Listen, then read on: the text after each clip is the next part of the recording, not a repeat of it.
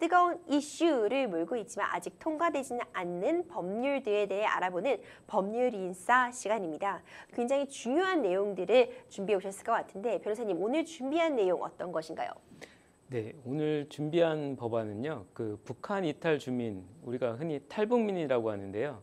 그 사람들의 개인정보 보호에 대한 법률안을 준비했습니다.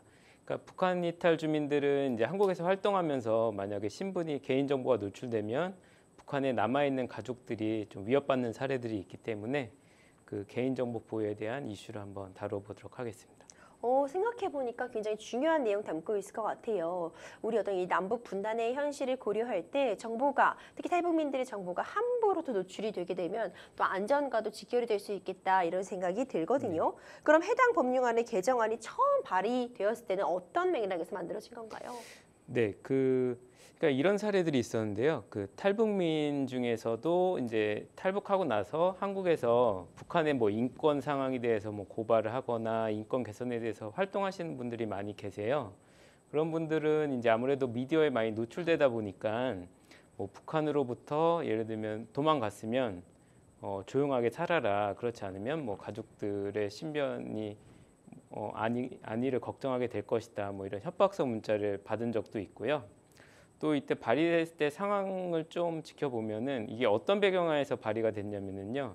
물론 이제 이탈 탈북민들의 개인 보호를 이제 개인 보호에 관한 뭐 개인정보 보호법이라고 있지만 이제 이게 누출되는 사례가 몇 번 있었습니다. 유출되는 사례가 그리고 이런 탈북민들의 개인정보가 유출됨으로써 뭐 그들이 이제 뭐 협박을 당하거나 뭐 북한에 남겨진 가족들에 대한 걱정이 뭐 높아지거나 이런 사례들이 있었고요. 또 탈북민들에 대한 개인 정보가 유출됐음에도 불구하고 뭐 1년 넘게 그 저희 대한민국 당국에 뭐 신고하지 않은 사례들도 있었고 이런 과정 속에서 이런 배경 하에서 이런 이런 법률 개정안이 예, 발의가 되었습니다. 어, 발의한 지 아주 오래된 법안은 아니지만 꼭 필요한 법안인 것 같다 이런 생각이 드는데 상세 내용도 좀 소개해 주시죠. 네. 그 탈북민의 개인정보에 관한 법률은 아까 말씀드렸듯이 북한 이탈 주민의 보호 및 정착 지원에 관한 법률 거기에 이미 일부가 있기는 했는데요. 그걸 좀 더 강화하는 법률안이 이제 개정이 된 것입니다. 우선 탈북민 정보란 거는 우리가 이제 개인정보 보호법상 개인정보 개인정보에 해당하는 거 외에도 뭐 그 과거에 북한에 거주할 거주 당시에 어떤 지역, 뭐 출신 지역, 그리고 뭐 탈북한 연도, 그리고 탈북을 하게 되면은 우리나라에서 이제 정 그 잘 정착할 수 있도록 지원해 주는 뭐 그런 센터에 입수하게 된 뭐 연도라든지 이런 세세한 것까지 탈북민을 특정할 수 있는 정보를 아울러서 이제 탈북민 정보라고 할 수 있는데요. 어, 그런 탈북민에 대한 정보를 업무상으로 취득한 사람이 그 업무 외적으로 이용하는 경우뿐만 아니라 그 다른 사람한테 그 이용하도록 한 경우에 이런 처벌하는 조항을 새로 신설을 했고요. 처벌 수준은 1년 이하의 징역 또는 1천만 원 이하의 벌금 이 정도입니다. 그리고 또 하나 이런 처벌 규정 외에도 탈북민 정, 정보를 분실하거나 도난하거나 유출했음에도 불구하고 이런 사실을 신고하지 않거나 만약에 허위로 신고할 경우에는 과태료를 500만 원 이하의 과태료를 부과하는 조항도 이 법안에 들어가 있습니다. 그렇군요. 그렇다면 해당 법률은 아직 계류 상태라는 거죠. 실제 네. 이 법안에 대해서 탈북민들은 어떤 의견 보이고 있나요? 네, 탈북민들 입장에서는 본인들의 정보는 더더구나 좀 민감한 정보인데요. 왜냐하면 탈북민들은 북한에서 이제 탈북하면 행, 행방불명이나 또 뭐 사망자로 신고되는 경우들이 있는데요. 어 근데 만약에 탈북해서 남 어, 저희 대한민국에 생존하고 있다 뭐 이런 게 이제 만약에 유, 알려지게 되면은 북한에 남아 있는 가족들이 위협을 받거나 아니면 가족들이 인질로 해서 뭐 위협하는 경우도 있고 가족들이 뭐 정치범 수용소 이런 데 가서 고초를 겪는 일도 있기 때문에 북한 사람들은 굉장히 이제 두려워하고 있고요. 이렇게 유출됐을 경우에 이렇게 자신의 신상이 알려질까 봐 어, 이름을 바꾸는 경우까지도 어, 있다고 합니다.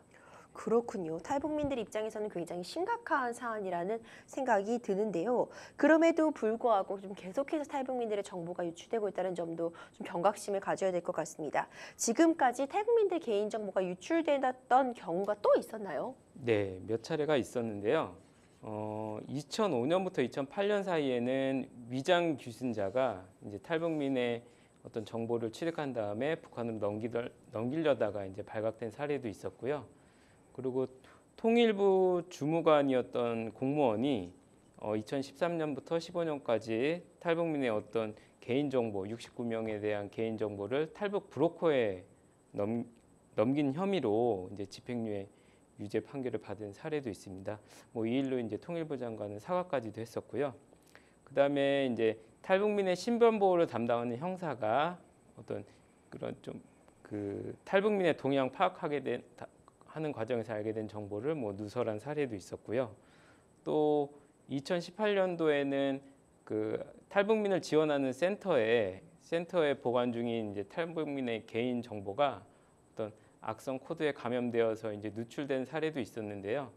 뭐 아직 명확하게 밝혀진 건 없지만 이제 북한에서 어떤 사이버 공격이나 해킹 등을 통해서 이런 탈북민의 정보를 탈취하려고 하는 뭐 이런 시도도 있다고 보입니다. 근데 앞으로 이제 이런 유출된 사례뿐만 아니라 좀 더 이제 우려스러운 거는 어, 이런 입법안에 대한 그 외교통상의 전문위원회 의견서에 따르면은 어, 탈북민을 지원하는 단체들은 국가뿐만 아니라 민간 단체들도 많이 있거든요. 그러다 보니까는 이게 유출될 수 있는 가능성이 점점 높아지고 있다. 네. 이런 이런 문제점이 좀 지적이 되고 있습니다. 그렇군요. 이렇게 유출실 사례를 좀 설명을 듣다 보니 이 법안 중요성이 다시금 느껴지는 것 같은데요. 그럼 현재 어떤 상태로 진행이 되고 있는 건가요? 네.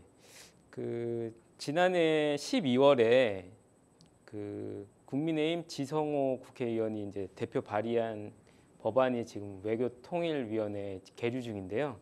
그 지성호 국민의힘 의원은 저기 탈북민 출신으로 이제 국회의원을 하고 계신 분인데요.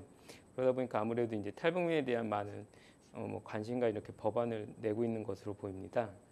어, 지금은 현재는 이제 최근까지 확인 오늘 확인한 결과로는 이제 외교통상위원회에서 이제 아직도 아, 외- 외통위 외교통일위원회에서 어, 계류된 채 이제 소관상임위에서 법안을 심사하고 있는 그런 단계이고 아직도 이제 국회 본회의에 상정되고 나중에 통과까지는 시간이 좀 한참 걸릴 것으로 그렇게 예상하고 있습니다. 그렇군요. 마지막으로 법안이 어떤 방향으로 나아가면 좋을지 정리 부탁드릴게요, 변호사님. 네네.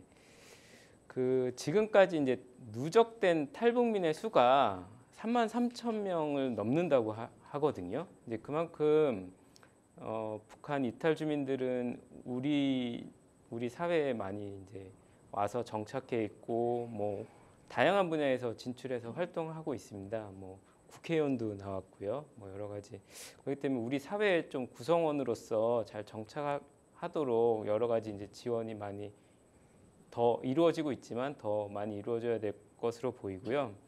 그런 의미에서 이제 잘 정착하기 위해서는 북한 이탈 주민의 어떤 개인 정보에 대해서 물론 개인 정보 보호법이 있지만 어, 이런 또 더 특별한 법을 법을 이제 규정함으로써 좀 개인 정보 보호를 할 수 있도록 좀 유, 이제 저희가 더 신경을 써야 될 것 같고요. 북한 주민 역시도 뭐 저희 기본권의 주체성이 인정되기 때문에 그 개인 정보 보호의 주체다는 점을 좀 명확하게 인식을 하고 그들의 개인 정보를 보호하기 위해서 좀 노력을 해야 될 것 같습니다. 네, 더 나은 삶을 위해서 우리 자유를 위해서 목숨을 걸고 탈북하신 탈북민들의 개인 정보가 좀 더 공고하게 안전하게 지켜졌기를 간절히 소망하겠습니다. 지금까지 이슈와 새로 통과된 법안들에 대해 알아보는 법률 인싸 함께했습니다.